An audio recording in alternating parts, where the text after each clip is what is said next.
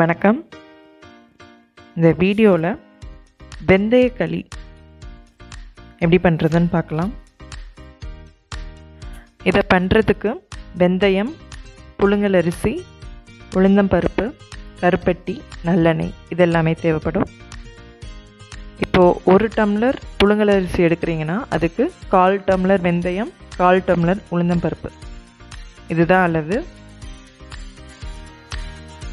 அரிசி ஒரு பங்குனா வெந்தயமும் உளுந்தம்பருப்பும் கால் கால் பங்கு. வெந்தயம் உளுந்தம்பருப்பு இது ரெண்டும் சம அளவில் எடுக்கணும்.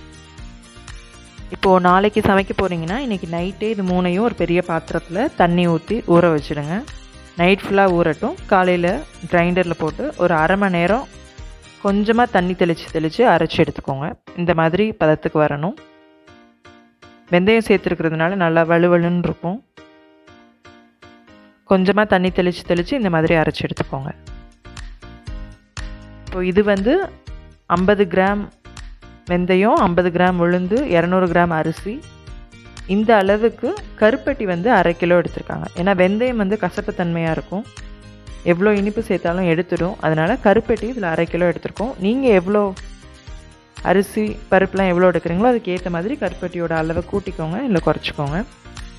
கருப்பட்டியை இந்த மாதிரி நல்லா தண்ணி ஊற்றி கொதிக்க விட்டு வடிகட்டி எடுத்துக்கணும். இப்போது இங்கே வந்து ஒரு பெரிய குக்கரில் தான் களி கிண்ட போகிறாங்க ஏன்னா அடி கனமாக இருக்கணும் அந்த பாத்திரத்துக்கு. அதில் ஒரு மூணு டேபிள் ஸ்பூன் நல்லெண்ணெய் விட்டுட்டு அந்த எண்ணெய் சூடானதுக்கப்புறமா நம்ம கரைச்சி வச்சுருக்கிற கருப்பட்டியை இந்த மாதிரி வடிகட்டி ஊற்றிக்கலாம் கருப்பட்டி வந்து மூழ்கிற அளவுக்கு தண்ணி விட்டு இந்த மாதிரி கரைச்சி எடுத்துக்கிட்டால் போதும். பாகா காய்ச்சறதில்ல. அதில் இருக்கிற மண்ணெல்லாம் ஃபில்டர் பண்ணி எடுக்கிறதுக்கு தான். இப்போ மூணு டேபிள் ஸ்பூன் நல்லெண்ணெய் விட்டு நல்லெண்ணெய் சூடானதுக்கப்புறமா அந்த கருப்பட்டி பாக கருப்பட்டியை ஊற்றிருக்கோம் கருப்பட்டி ஒரு கொதி கொதிச்சதுக்கப்புறம் நம்ம அரைச்சி வச்சுருக்கிற மாவை இதோட சேர்த்துடலாம். சேர்த்துட்டு நல்லா கிண்டி விட்டுட்டே இருக்கணும். அடி பிடிக்காமல் கிண்டி விட்டுட்டே இருக்கணும். ஒரு இருபது நிமிஷம் இந்த மாதிரி குக் பண்ணிகிட்டே இருக்கணும். கிண்டி விட்டுட்டே இருக்கணும். கீழே அடியில் ஒட்டாமல் நல்லா இந்த மாதிரி கிண்டிகிட்டே இருக்கணும். வெந்தயம் உளுந்த பருப்புலாம் இருக்கிறதுனால வலுவலுன்னு தான் இருக்கும். இந்த மாதிரி கலர் மெதுவாக மாறிட்டே இருக்கும். தேவைப்பட்டால் நல்லெண்ணெய் ஒரு டேபிள் ஸ்பூன் நல்லெண்ணெய் இதோட சேர்த்துக்கலாம்.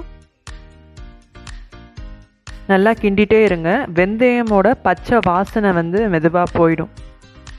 ரொம்ப பச்சை வாசனையாக இருக்கிறது. நல்லா குக் ஆகி ஸ்மெல் மாறும். கலரும் நல்லா சேஞ்ச் ஆகி கிடைக்கும். மோஸ்ட்லி சம்மரில் இதை அடிக்கடி நம்ம காலையில் பிரேக்ஃபாஸ்ட்டாக எடுத்துக்கலாம். ஏன்னா வெந்தயம் வந்து குளிர்ச்சி தன்மையோடது குட்டி பசங்கள்லேருந்து பெரியவங்க வரைக்கும் எல்லாருமே சாப்பிட்லாம். ஏன்னா மென்று சாப்பிட்றதுக்கெலாம் ரொம்ப ஈஸியாக இருக்கும். வாயில் வைக்கிறதுக்குள்ளேயுமே நல்லா வலுவலுன்னு உள்ளே போயிடும் குழந்தைங்களுக்கும். குழந்தைங்களும் ஈஸியாக சாப்பிட்ருவாங்க இந்த களியை. ஃபஸ்ட் டைம் ஒரு ரெண்டு மூணு தடவை சாப்பிட்றப்ப இந்த களி பிடிக்காத மாதிரி இருக்கும். ஏன்னா இது ஒரு கசப்பு தன்மையும் ஒரு கசப்பாக தான் இருக்கும். கசப்பும் இனிப்பும் கலந்துருக்கும். பட் சாப்பிட்டு பழகிட்டிங்கன்னா அடிக்கடி நீங்களே செஞ்சு சாப்பிடுவீங்க. களி நல்லா கலர் மாதிரி ரெடி ஆகிடுச்சு ஒரு இருபது நிமிஷம் குக் பண்ணதுக்கப்புறமா தண்ணியில் கை வச்சுட்டு இந்த மாதிரி தொட்டு பாருங்கள் கையில் ஒட்டாமல் வரும். அந்த பதத்தில் அடுப்பை ஆஃப் பண்ணிடுங்க. அதுக்கப்புறமா ஹாட் பாக்ஸில் கொஞ்சமாக நல்லெண்ணெய் விட்டு களி ஒட்டாமல் இருக்கிறதுக்காக நீங்கள் குக் பண்ண களியை இந்த மாதிரி ஹாட் பாக்ஸில் மாற்றி வச்சிடலாம்.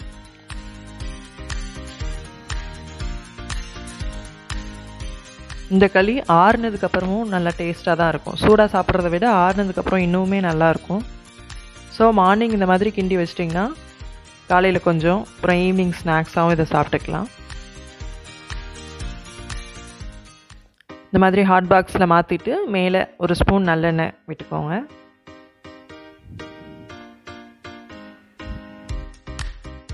கண்டிப்பாக குக் பண்ணி சாப்பிட்டு பழகுங்க. வெயில் காலத்துக்கு இது ஒரு நல்ல பிரேக்ஃபாஸ்ட் உளுந்தம்பருப்பு வெந்தயம் புழுங்கலரிசி கருப்பட்டி நல்லெண்ணெய்.